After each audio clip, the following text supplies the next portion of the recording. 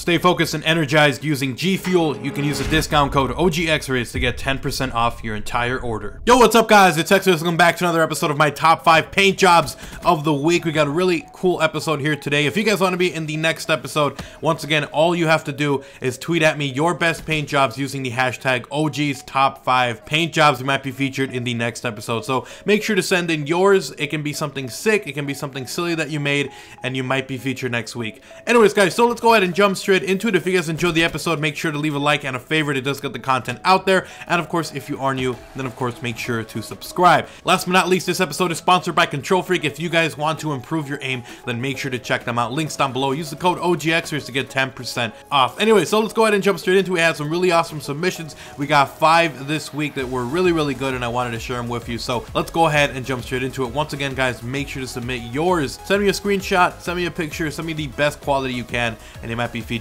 So Coming in at our number five spot, we've got Tygon Riley, who sent in a pretty nice Pokemon camo. It looks nice because it has a nice little yellow base on the outside or gold, whatever you want to call it. And then it has a Pokeball right there on the Argus. I thought it was really perfect the way that he put it on there. So there we go, a really nice Pokemon camo. Congratulations to Tygon on the number 5 spot.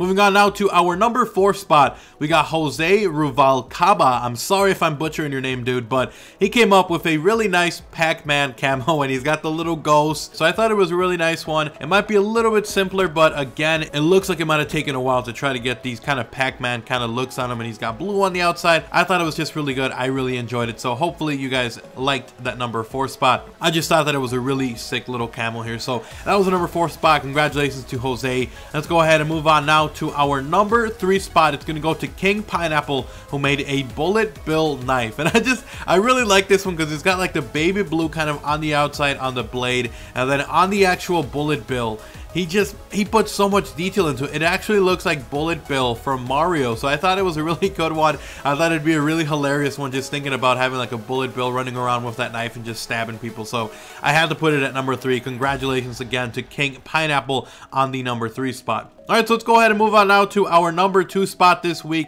It's going to go to Jack, and he made, honestly, something that looks like a legit camo.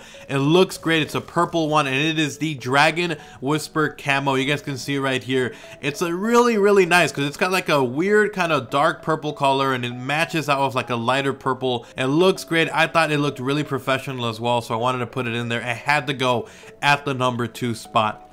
But anyways, guys, let's go ahead and move on now to our number one spot this week, and it is going to go to RUV1, and he made a Star Wars Trooper camo. And I know we had one last week, but this one was just so good because he's got the orange. He kind of blends into Stormtrooper in there, like it's a little bit hidden in there. I thought honestly that it was a really, really awesome paint job, so I put him at the number one spot. Anyways, guys, once again, if you guys have any paint jobs that you guys want to submit, make sure to send them in to me using the hashtag OG's Top 5 Paint Jobs. You might be featured in the next episode, guys, so please send me in your creations. You might be featured. Of course, guys, if you did enjoy this episode, make sure to leave a like and a favorite It does get the content out there and it is very much appreciated. And of course, if you are new, if you want to see more content like this in the future, community driven stuff, top fives, I do them every single Friday. So make sure to subscribe so you guys don't miss those videos. I'll see you guys next time. I make sure them out, like, comment, subscribe.